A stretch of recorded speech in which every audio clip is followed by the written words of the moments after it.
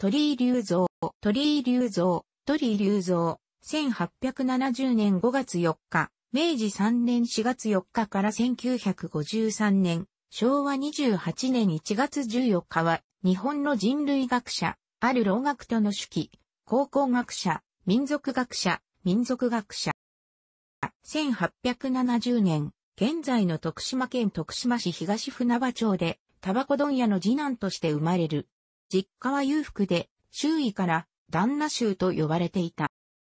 1876年、明治9年、小学校に入学。学校嫌いで入学当初は逃げ回ってばかりだったという。鳥居は自身の教育観として、学校は単に立身出世の場であり、裕福な家庭に生まれた自分に、学校は必要ない。むしろ家庭で自習する方が勝っていたと語っている。晩年の自伝、ある老学徒の手記には、尋常小学校を中途で、大学と記されていたため、多くの資料でも同様の記載がなされていたが、後に徳島県立鳥居隆三記念博物館の所蔵資料から新町、小学校尋常小学科等科の卒業証書が発見されており、記憶に錯誤があったものとみられている。また、上智大学文学部長だった1931年の日付が入った鳥居の履歴書も発見されており、尋常小学は寺町、原神町小学校にて学習、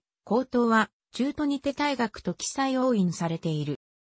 中学校の教師の教えを受けながら、独学で人類学を学ぶ。人類学雑誌の購読者となったことが縁で、東京帝国大学の人類学教室と関係を持ち、1894年、明治27年には、標本整理係として、坪井正夫の人類学教室に入り、12月に、同門の井の羽角と、週1回行われる人類学講習会を催す。東京遊学を言い出した鳥居に、両親はしぶしぶ賛成するが、結局、タバコ屋は廃業し、両親と共に上京して、貧乏生活を送ることとなった。1895年、明治28年の両東半島の調査を皮切りに、台湾、中国西南部、シベリア、千島列島、沖縄など、東アジア各地を調査した。中でも満州、蒙古の調査は、鳥居と彼の家族のライフワークとも言え、たびたび家族を同伴して訪れている。妻のキミコは、現地で鳥居の助手を務めた。鳥居隆三のフィールドワークというと、海外での研究が著名だが、実際にはほとんどが日本国内各地での活動である。10代から鳥居は徳島をはじめ四国各地、5、東京帝大在職中も日本各地のフィールドワークを行い、その度に展示会、講演会を開催、人類学、考古学の普及に努めた。鳥居がアジア大陸を歩かれた旅程は、おそらく幾万キロを突破したであろうと言われる。現在のような飛行機の便はなく、船、車、馬を利用し、また徒歩であった。しかも丹念に学問的観察をなし、その成果を発表した彼の足跡は当時、台湾、朝鮮、シベリア、蒙古、満州、シナ西南部、カラフト等の各地に及んだ。鳥居は25歳から67歳に至るまで、幾度となく東、アジアを中心に調査を行った。それは鳥居の学んだ人類学の手法、特に死と仰いだ坪井正五郎の観察を中心とした手法を採用したためであった。以下にその様子を年を追って記す。1895年、明治28年、鳥居が両東半島へ調査に行くチャンスを得たのは全くの偶然だった。東京理科大学の地質学の教員、神保翔子がアイヌの知人を助手として両東半島へ地質学調査に不予定だったが、事情によりその知人が同地に行けなくなった。そのため、代理として鳥居が両東半島に行くこととなったのである。この両東半島での調査で、鳥居は石器場付近にドルメンを発見した。この発見は、まさに鳥居が海外調査を精力的に行うに至る契機となった。1896年、明治29年、東京帝国大学は日清戦争によって日本が得た新たな植民地、台湾の調査を依頼された。その際、人類学調査担当として派遣されたのが鳥居であった。鳥居は台湾での調査の際、初めて写真撮影の手法を導入した。また、特に台湾東部の孤島、蘭遊に住む原住民族、タオ族について念入りな観察を行っている。身体形態の測定、これは世界の人類学とは理系の地質学、医学などなどを基礎とする。形態人類学であり、地層分析から人骨測量など客観的データを持って研究を進める学問的方法であり、そのためフィールドワークにより発掘した証拠物を理学的に検証し、初めて仮説を立てる。という非常に実証的研究方式で、だから鳥居は常に現場にいたのである。もちろん表面的観察も重要視するが実証できないことにつき、鳥居は根拠にしない。明治の人類学は理系に基づく欧米流人類学であり、人類学者は自然科学者である鳥居隆三、日本の人類学ほか。しかし、一方で、タオ族の文化的特徴である漁業のタブーなどを鳥居は一切報告しておらず、観察できない宗教的現象などを調査することは苦手であった。写真撮影の手法の導入やスケッチ、大量の文章などを残すことになった素地には、観察重視の態度があったと考えられている。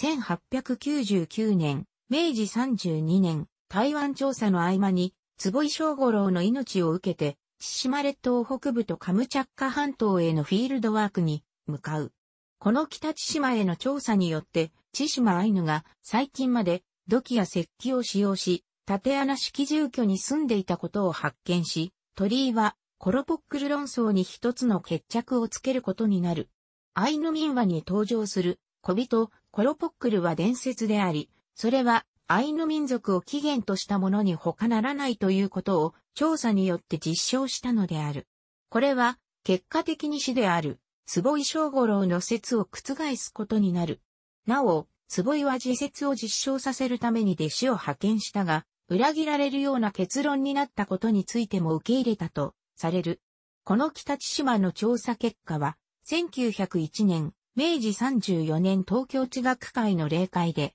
発表され、1903年、明治36年に、千島アイヌと題して刊行された。本書はフランス語で発表されたもので、欧米のアイヌ研究者の必修本と位置づけられている鳥居隆三研究第1号。1902年、明治35年、鳥居は台湾への調査の成果を活かし、中国西南地域へと向かう。台湾の蛮族、鳥居による表現。中国古典における表現のままである中国古典多数ありと中国南のミャオ族が人類学上密接な関係を持っているのではないかとの学術的要請のためである。これは鳥居にとって初の自らの学術的要請による調査であった。1902年7月から1903年3月にかけて9ヶ月にわたって主として紀州省のミャオ族と雲南省の遺族の調査を行い、西南中国と台湾と日本の共通性を探る試みを行った。しかし、ある人々に棒させられて、中国西南部へは二度目の調査を行うことはなかった。1906年、明治39年から1907年、明治40年にかけても鳥居は、満蒙調査を行っている。1911年、明治44年からは、朝鮮半島の調査に入る。韓国併合後、朝鮮総督府は、教科書編纂のために、資料収集の必要に迫られた。そこで、体質人類学、民族学、考古学それぞれの方面にわたる蝶を鳥居に移植したのである。鳥居は人類学のみならず、石器、古墳も積極的に調査した。その際には、考古学者、関野正との説の違いも生じ、対立を生んでいる。古軍国傾向が強まる情勢の中、学問的真実にこだわる鳥居が、徐々に外されていった経緯がある、鳥居隆三研究第1号。1916年、大正5年論文、古代の日本民族でアイヌ人を除く古代の日本人として固有日本人、インドネジアン、インドシナ民族を挙げている。固有日本人とは現代日本人の直接の祖先であり、弥生文化の直接の担い手である。この人々は、石器事業の段階に、東北アジアから日本列島に住み着き、金属器使用時代になって、再び北方の同族が渡来してきたと考えた。日本人根血民族説、鳥居隆三研究第1号を掲げた。1919年、大正8年、鳥居は調査の目をシベリアへ向け、アムール川流域を中心に詳細な先住民族調査を行っている。1928年、昭和3年、多忙な調査の合間、鳥居は当時ドイツ系専門学校の上智につき、自ら文部省に掛け合い、大学に昇格させた。実質創立者の一人と言えよう。鳥居隆三研究第1号。1931年、昭和6年、鳥居は第6回目の満州調査に出かける。1931年、昭和6年9月、満州事変が勃発。満州は正常不安定な状態になっていた。そんな中でも鳥居は上角、墳母類を綿密に調査している。1937年、昭和12年、外務省の文化施設として南米へ派遣。67歳と高齢にもかかわらず鳥居は精力的な調査を進め、インカ帝国の攻防についても積極的に発言している。鳥居は人類学教室の助手だった時代から南米に触れる機会が多かったにもかかわらず、日本に関係がないとの先輩の発言などもあり、調査を怠っていたと理解していたようである。1939年、昭和14年に鳥居は、アメリカハーバード遠鏡研究所の招聘を受け、その研究者として、客座教授、中文名義で、中国北京にある、ハーバード大学の姉妹校である、遠鏡大学に赴任、鳥居隆三の生涯鳥居記念館、徳島。この後も引き続き、山東省でのフィールドワークを続けていた。旺盛な学級意識は途絶えることなく、第二次世界大戦後に至るまで長く研究を続けることとなった。第二次世界大戦終結後、日本に帰還する。ルスタクは空襲を受け、書庫と貴重な蔵書こそ、すべて無事だったものの、母屋は消失していた。そのため、帰国後の生活は困窮を極めた。吉田総理大臣がその邸宅を一部貸したくらいだった。鳥居隆三のその雄大なフィールドワークの業績とは、未開拓の大陸の考古学や人類学、民族学の方面に、自ら足を踏み入れ、自らその閉ざされていた扉を開いたことであろ